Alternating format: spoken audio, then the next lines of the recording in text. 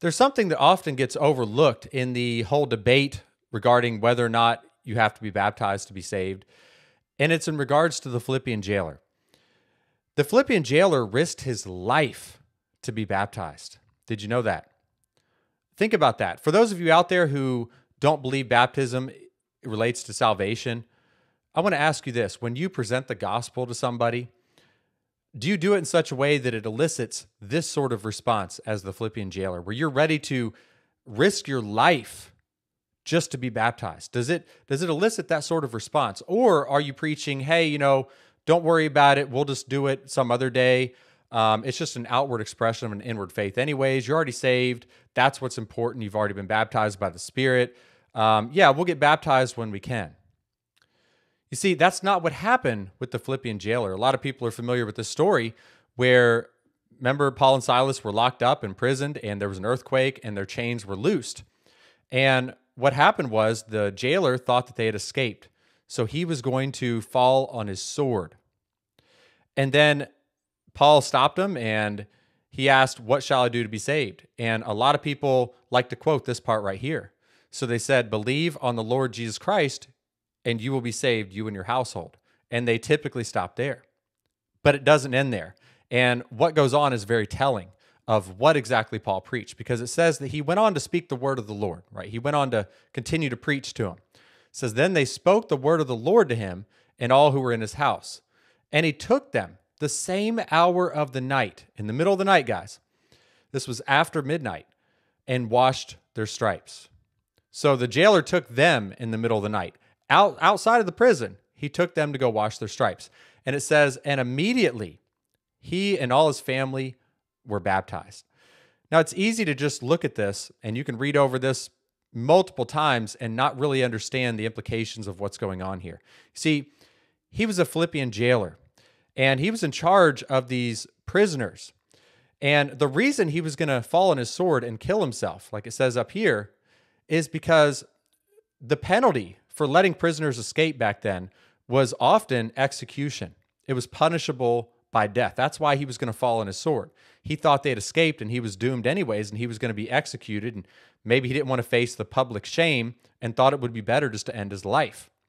And we see that this was common back then. If we look back at Acts 12, sort of a similar situation, Peter was locked up and there was an angel that came and helped him get out of there. And Herod, when he when he couldn't find them, what he did was he had the guards who were in charge of watching over Peter, he had them executed. He had them put to death.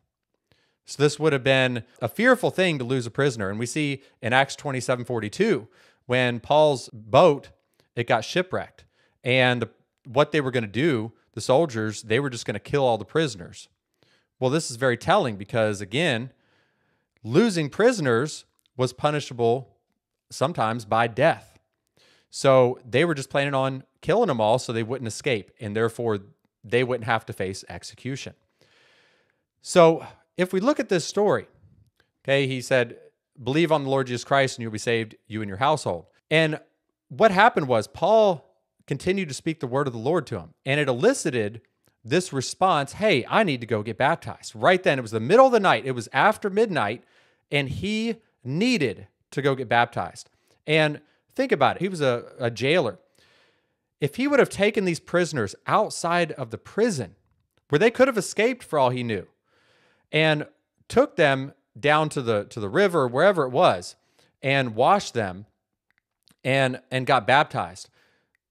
Paul would have preached some sort of urgency to this. I mean, think about it. If somebody would have spotted them and saw what the jailer was doing, taking these prisoners outside where they could have escaped or you know who who knows what what people would have thought.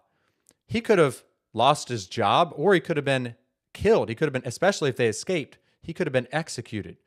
So what would have made the philippian jailer take baptism so seriously especially again it's in the middle of the night. I mean think about it. To the point where he would risk his life. Could you just imagine in modern day i mean really any country could you imagine this happening this playing out in any country today where there's a prison guard and one of the prisoners ends up telling him how to be saved. He preaches the gospel. And so what the what the guard does is he sneaks him out of the jail. Takes him out of the jail down to maybe a local river or something and has him baptize him with another prisoner. I mean, think about that. Think about that. I mean, could you even fathom something like that? Now, let's take an extreme example and say if that guard was to be executed, if he lost one of those prisoners, you can see the stakes were extremely high.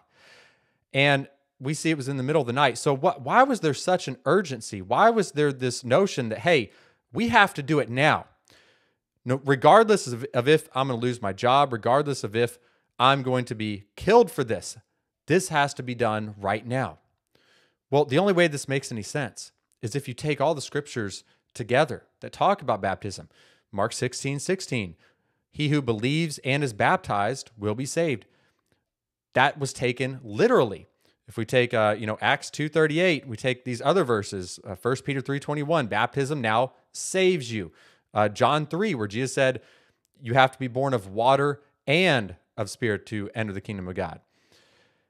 So think about it. These verses seem to be taken quite literally. I mean, there was this sense of urgency to the point where you felt that you had to be baptized, even if it meant you were going to be seen by somebody and be killed for it. Now, let's go ahead and imagine that today playing out. Let's just be honest. For those of you that believe baptism doesn't save, let's be honest. If you had somebody in your congregation, in your church, or, or wherever, in your fellowship, and there was a very real risk of them being killed that night, let's say it's three o'clock in the morning and somebody gets saved at your house. And let's say if you go out, there's a very real chance of somebody getting killed, very possible chance. Would you would you just put it off and say, okay, don't worry about it. You know what? We'll just do it today or the next day or, or sometime when it's safer. You know, I mean, we don't have to risk your life for this. This isn't worth that. I mean, after all, it's just an outward expression of an inward faith, right? You see, is the gospel that you're preaching eliciting this sort of response from people where they want to get baptized in the middle of the night and at the risk of their own lives? Or is it eliciting the opposite response of, well, we can just put it off. We can do it at the quarterly baptism. We can just do it whenever, or just not at all. What type of gospel are you preaching? Is it, is it the type of gospel that Paul preached here, where it elicited this sort of urgency that no, I need to do this and I need to do it now. I, I can't wait till tomorrow. I can't wait till the next day. I can't wait till this weekend or the quarterly baptism or whenever. I have to do it now. And and you got to think this would have been running through his head. What if I get caught? What if somebody sees me taking these prisoners out of the jail? What are they going to think? What are they going to do to me? This had to have been running through his mind, but yet he still did it. Just try to think about the implications of that. Could you see that today? If there was, again, if there was a real possibility that doing that would kill somebody, would you take that person out to be baptized, knowing that that could have them killed? And you may say, well, yeah, because, uh, you know, like Jesus said, whoever denies me in front of men, uh, he will deny in front of the Father. Well, if you think about it, it was in the middle of the night. He didn't invite, you know, all sorts of, of friends and family. Yes, he had his immediate family there. He had his household, those who were in his household, but it wasn't a big event like today where you invite everybody to the church and that sort of thing. So it wouldn't have been this sort of public uh, declaration. And, and that's the main purpose. And it was just for the purpose of confessing before men. No, there was a sense of urgency that he needed to do it right then. And again, in the middle of the night. So, is this a sort of gospel that you preach? Does it create this in people? And you have to ask yourself, it doesn't, why not? Well, let me just submit to you that the reason is is because you're not preaching the same gospel that the apostles and Jesus preached. Baptism is included in part of the gospel. It is it is part of the gospel. It's integral to the gospel. It's part of the great commission. He said, "Go into all the world, preaching the gospel, baptizing them and teaching them to observe all that he commanded." It's all connected. It's all tied in together. And that's why you see these extreme responses, these immediate responses. There was absolutely no waiting. It was, you had to do it right then. And the eunuch, remember the eunuch, after Philip preached to him, he said, Look, there's water. What forbids me from being baptized? And if you look at the conversion of Paul, Ananias told him, Why do you wait? Why do you tarry? Arise and be baptized, washing away your sins, calling upon the name of the Lord. So, can you say that? Can you say these verses to people? Can you say, hey, why are you waiting? You know, you're waiting to get baptized till tomorrow. Why not do it tonight in the middle of the night? Why do you wait? Why don't you get baptized, washing away your sins, calling upon the name of the Lord? Can you say that to people? Is that even in your terminology? Can you can you look at somebody and say, "Hey, he who believes and is baptized will be saved, but he who doesn't believe will be condemned." Can you say these sorts of things to people? If not, Again, I submit to you that it's because you have an incomplete gospel message.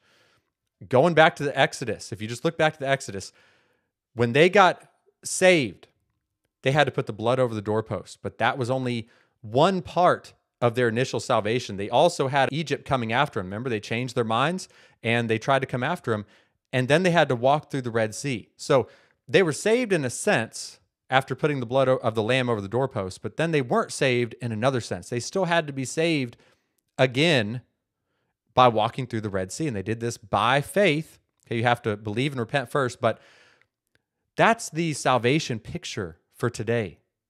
Yes, you have to believe. Yes, you have to repent, but you also have to be born of water, like it says in John 3. You have to be born of, of spirit and of water to enter the kingdom of God. Guys, just go back to the Exodus. Just look at that. That's a picture that's used over, over and again, uh, time and time again throughout the New Testament as a picture of our salvation today. So just ponder on this. Ponder on this tonight. Why was there such an urgency? W- would you risk your life just to be water baptized? I mean, if, if you really don't think it's salvific, if, it, if you really don't think it's that big of a deal, if you think it's just a symbol or just an outward showing of an inward faith that's already taken place, then would you do this? Would you risk your life to be baptized right then? You couldn't wait at all.